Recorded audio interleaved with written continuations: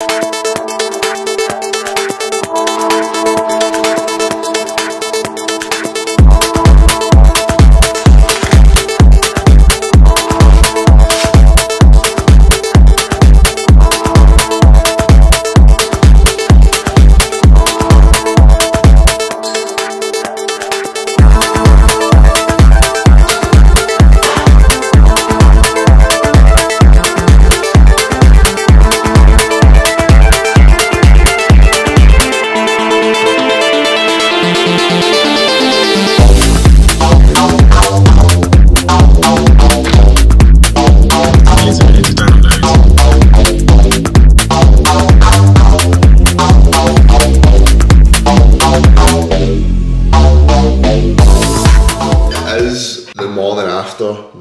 montage you just seen of the morning routine, which is get up at seven o'clock. Usually my body clock will get me up between six, between half six and seven. I'll get up as I'm doing right now. I'm gonna make a coffee.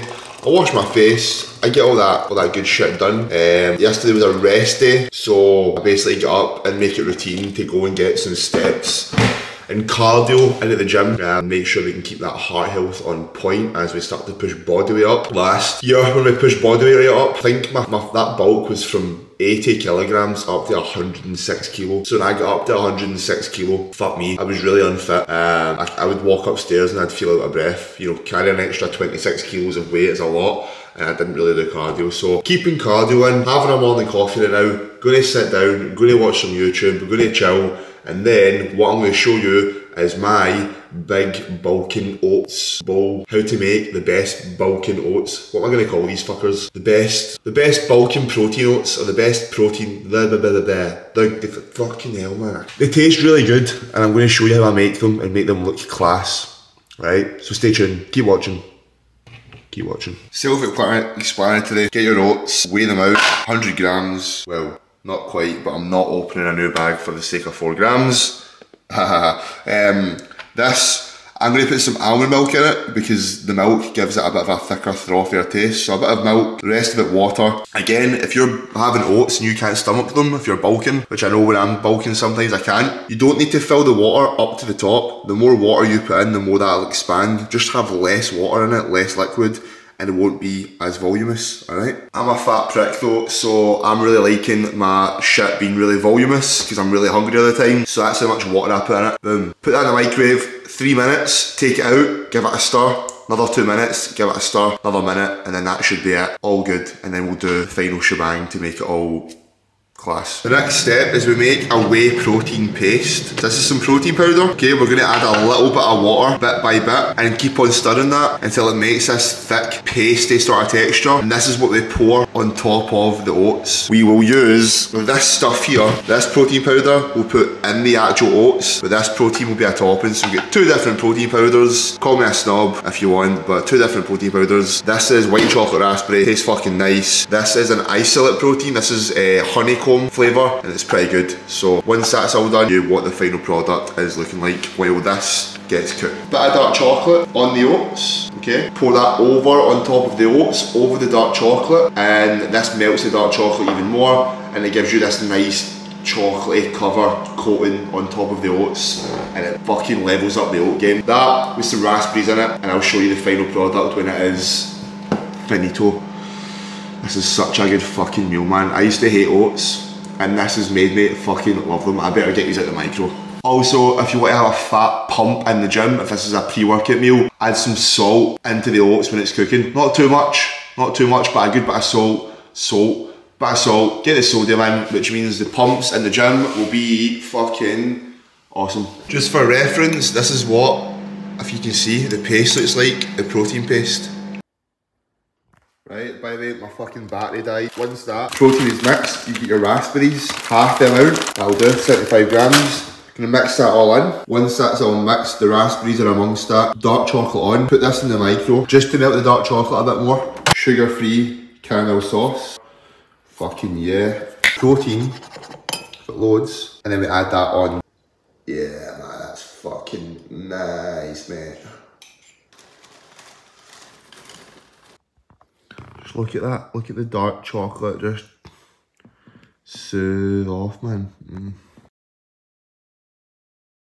About to go to the gym and to upper upper body. I actually really liking these upper body sessions. I used to do push pull legs, upper lower, chest and back together. Um, but this new approach has been nice. Anyway, that's a topic for another video. I feel I'm always rambling about that training split, but today's pre-workout is some dodgy thing. Whenever I go to this supplement shop, Pit Stop Nutrition, if you've never heard of it and you live in Glasgow, surrounding areas, go to it, stock all the best supplements, and you sometimes get a free sample of pre-workout. Uh, I think this is the Ghost pre-workout, so I'm going to have this in some water and hopefully it gives me a ginormous pump. So yeah, next clip you're going to see is some upper body training. Enjoy. Jumping in with a voice over. Not too sure how the audio sounds on this. Hopefully it sounds good. So, upper body day. This is a recurring theme for myself doing the upper days. Um, I used to do push, pull, legs, some sort of variation of that. Uh, change things up now currently doing three upper sessions a week with a big bias being towards chest and delts. So every one of those upper sessions that I do has got chest work in it and delt work and arm work and one thing for back, two things for back. Um, the specialisation block right now is just chest and delt, so we're trying to blow that up over the next 12 15 weeks, and then we'll put some more back work in and maybe bring the chest and delt stuff down. All right. Anyway, the voiceover is the workout. So started off here with flat hammer press. Um, good movement, just try to provide a good stimulus to the sternal fibres of the chest. Um, this plate loaded one is a nice machine. It kind of converges, which means as I press up, the elbows get closer towards the body, which is almost like what a fly does. So we can we're able to stretch the pec at the bottom, but we're also able to contract to the top almost. So solid movement that think that was a rest pause set. So we've done 10 to 15, we rest 15 seconds, and then we go again till we can't go. Um, followed up by a cuffed clavicular fly. So we are trying to bias the upper chest fibres here. There's not really any movement like this with regards to we can really just drive the elbow across that clavicular part of the chest to really bias those upper chest fibres. Um, most people lack upper chest obviously when it comes to bodybuilding, you know, we're going to be more biased and we're going to be more picky with trying to gain more muscle. If you're just an average Joe, you do not need to bother with this shit. But if you do want to get a movement that gives you a big, thick upper chest, this is the one.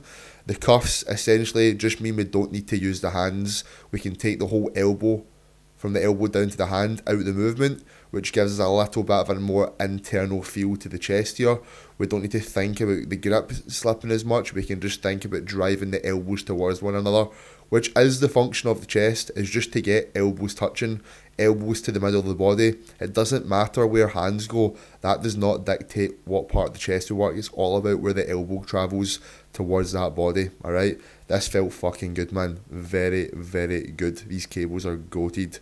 So, up next is my only back thing for this session. We have got an upper back row, chest supported. We know when we've got a chest support with a movement, we are a little bit more locked in, a little bit more stable, and we can just produce a little bit more force to that muscle. Typically, the more locked in you are on machines, machines are going to be a bit more favourable because you can really isolate the muscle. And as somebody that's trying to grow a shit ton of muscle, the more we can isolate it, the better. Here, all I'm thinking about is just driving those elbows back behind my body and squeezing every last part of that upper back, alright? As soon as I can squeeze the upper back, then I know I'm done. Like, I could have fought more swingy reps there, but I would have been no upper back stimulus. And then a wee low key putting the plates away, scene to make myself look good. Cuffs again in the cables. Um, that lady has stolen my cables, RIP. Um, so, lying cuff raises. These are a movement you probably won't see a lot, but again, the cuff just takes the hand position out it. We can just think about pushing through the elbows, which only matters when we try to target muscles, really, is elbow path. Um, so, the goal here, lying down on the bench at a small incline, we're just imagining we're doing dumbbell raises here. Essentially, we're challenging the delts, we're kind of lengthened, we're kind of stretched. Um, so the goal here is basically just to put as much effort into those delts as possible. Uh, we're stuck in, we've got a bench support, we're nice and stable and I can basically obliterate those delts. And that was the bulk of it. We're on to some arms now. A nice wee cable curl here. I've got a D handle on this. Simply being, you do not need to use the D handle. My wrists can handle it fairly well. Um, I wonder how many times my lisp has went mental during this this voiceover. Wrists, wrists, wrists. Anyway, D handle on that just so I can rotate that wrist, those wrists. Um, because sometimes when load gets a little bit heavier and I'm taking that rep to a complete 10 out of 10 failure point, um, if they're stuck in the same position, my joints, my wrist joints can get a little bit of a of a beat up in that. So yeah, I can rotate them, freely rotate, less strain on the joints, and I can still absolutely obliterate those biceps. So yeah, this was a hard set. Um, what have we got? Tricep push down. Finishing off the session with this. Good movement. Again, single arm because it can line up the joints a bit better, and I can just isolate that tricep a little bit better here. All right. Um, the goal here is just to contract really hard. I want to pause when I'm contracted, really squeeze the shit out of those triceps. All right, if you've never tried these, give them a bash. All right. Apart from that, guys, that is the upper body session. Again, I'm just dabbling and getting used to doing the videos that I've not really done before. Um, this is some posing at the end of the workout, feeling good. Body weight is slowly on the rise. On the next video, you'll see a bulking update. All right, but this is how we're looking. That was the session. Thank you for watching. Make those bulky notes if you've not. You'll thank me.